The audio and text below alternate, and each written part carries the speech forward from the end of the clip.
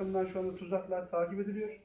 Bizim burada bugün hem size genel manada Akdeniz'in tuzakla mücadele nasıl yapılır, pardon, mücadele nasıl yapılır, akabinde bizim ve sizlerin yapacağı eylem planımız nasıl olacak, biz onlardan bahsedeceğiz.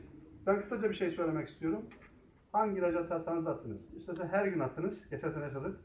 Bazen bu ilaç etki etmiyor diyoruz.